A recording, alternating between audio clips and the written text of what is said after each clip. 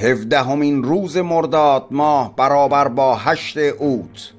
سال 955 پیش از هجرت برابر با 333 پیش از میلاد. آغاز بنای شهر اسکندریه توسط اسکندر مقدونی در مصر.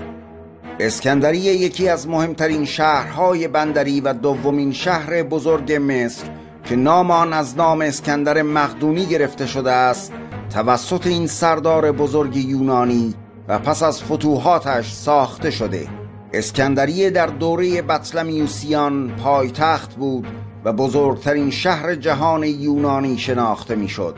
امروز این شهر دومین شهر بزرگ مصر و پنجمین بندر بزرگ آن به شمار می آید. کتابخانه اسکندریه نیز از کتابخانه های معروف جهان می باشد. علاوه بر اینها اسکندریه به خاطر لوله های گاز و نفتی که از سوئز به آن ارتباط دارد منطقه صنعتی مهمی به شمار می رود. سال 554 پیش از هجرت برابر با 68 میلادی خودکشی نرون امپراتور روم کلادیوس سزار معروف به نرون امپراتور روم باستان که در کودکی به فرزند خاندگی امپراتور وقت روم پذیرفته شد از دوران نوجوانی روحیه‌ای بسیار خشن داشت و در این راه حتی از قتل مادر و همسر خود دریغ ننمود. نرون پس از مرگ امپراتور که قتل او را نیز به او نسبت می‌دهند در سن 17 سالگی به امپراتوری روم رسید. وی سالهای اولیه سلطنت را با راهنمایی های عاقلانه برخی نزدیکان خود به نحوه مطلوبی گذراند. اما مدتی نگذشت که جنایت های فراوانی در پیش گرفت و مردم بسیاری را به کشتن داد. حریق بزرگ شهر روم که گفته می شود به تحریک او صورت گرفت و قسمت عمده شهر را در کام خود فرو برد و بهانه ای شد تا نرون یکصد هزار مسیحی را قتل عام کند از آن جمله به شمار می آید همچنین در زمان نرون جنگ میان ایران و روم روی داد که منجر به انعقاد صلح بین دو طرف گردید.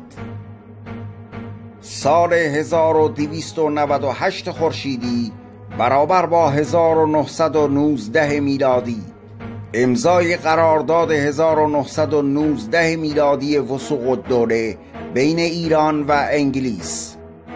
وسوق الدوله صدر اعظم احمد شاه قاجار از نخستین روزهایی که زمام امور را در دست گرفت به طور محرمانه مذاکراتی را برای انعقاد یک قرارداد با نمایندگان دولت انگلیس آغاز کرد که این مذاکرات به صورت کاملا سری در حدود نه ماه به طول انجامید.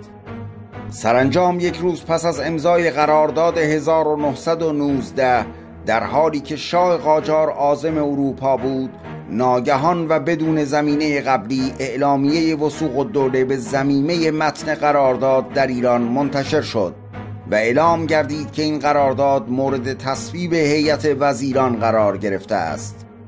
این قرارداد شامل شش ماده و یک مقدمه و خلاصه آن عبارت بود از تعهدات انگلستان درباره احترام مطلق به استقلال و تمامیت ایران تأمین مستشاران انگلیسی برای ادارات ایران و همکاری با ایران در زمینه احداث خطوط آهن و شبکه ارتباطی به همراه اعطای وام از طرف انگلستان. و سرانجام این معاهده به علت فشار شدید افکار عمومی عملی نشد و پس از برکناری وسوق الدوله لغو گردید.